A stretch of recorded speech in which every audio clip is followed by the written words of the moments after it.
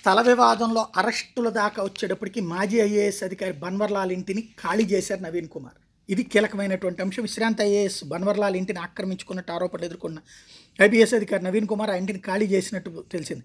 శుక్రవారం సాయంత్రం ఇల్లు ఖాళీ చేసి సామాన్లు తరలించి తాళం వేశారు. Police academy deputy director Naveen Kumar అన్న సాంబశివరావు ఐదేళ్ళు అదే అద్దెకుంటూనని అగ్రిమెంట్ చేసుకుని హైదరాబాద్ ప్రశాసన్ నగర్లోని నంబర్ డెబ్బై రెండులో ఉన్న బన్వర్లాల్ ఇంటిని గతంలో అద్దెకు తీసుకున్నారు. ఆ తర్వాత నవీన్ కుమార్ సైతం కుటుంబంతో అదే ఇంట్లోకి దిగారు.